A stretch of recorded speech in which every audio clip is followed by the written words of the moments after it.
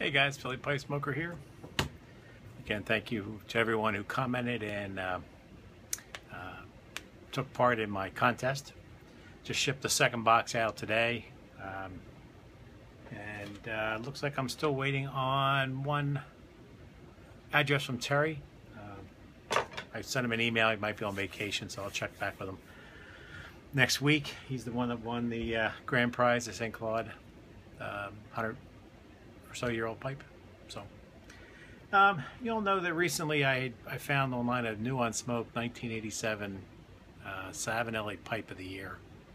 Um, I've been on the hunt for another one ever since, and I've I've seen a few, and they've gone a little bit too much. I didn't want to spend as much that much for them, so uh, I was able to find one that that I missed out on a buy it now price, and then uh, the gentleman relisted it, and I put a bid on it, and I won it. So I got it actually for what I wanted to spend on it, which was which was not which was less than the uh, buy now price. Uh, very nicely packed, and uh, I started it.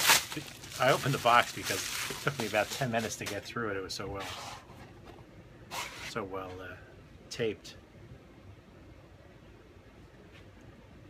and it's it says distributed by Savinelli Pipes, Morrisville, North Carolina, which I think is Pipes and Cigars. I think they're the Savinelli uh, authorized dealer.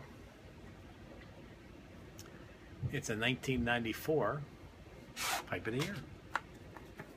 Let's take a peek at this baby. Also, was I don't know if anybody ever uses these. I, I don't. I don't like the taste of the wood.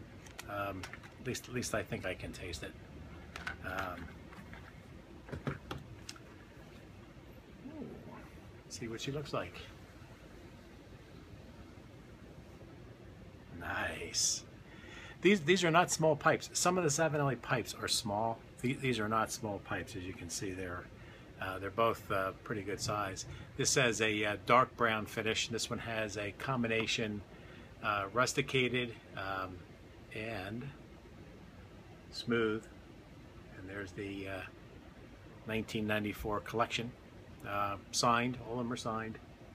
And acrylic stems, which I don't like the the vulcanite. And the color of that briar, um, you probably can't see it with the lights. Really horrible. Let me see if I can. Uh, there you go. See inside. So, beautiful bowl, uh, drilled perfectly uh, nice and deep. Um, just a really neat pipe. Um, I don't have any of this shape, so there you go, my new Savinelli collection. And finally, I was uh, watching Colin Kelly the other day, and he, and he, talked about a shop that, that has been talked about before, McCranie's, I think it's in North Carolina. And uh, if you order tobacco, they do business the old-fashioned way. They you, you go online, you register, you place your order, and um, they send you the order with an invoice and then you send them a check back. I did note that if you buy a pipe, I looked at their pipes as well, they will send you an immediate PayPal invoice that you can pay. I, you know, they don't want to get stuck sending out a pipe and somebody stiff them. So this I worked on for a long time. I could not get this thing open. As you can see how much I butchered it, how badly I butchered it. But um, so I just tried a few few tobaccos from them. Um, this one is McClelland's 221B series Honeydew. Um, I don't know. I don't see that it has a, a description of it, um, but I'm going to give that a try. It was actually 2012, so it's got three years on it. That's pretty cool. So good, good. Give that one a try. I think that's a flake. And then I ordered a couple of their tobaccos. Um,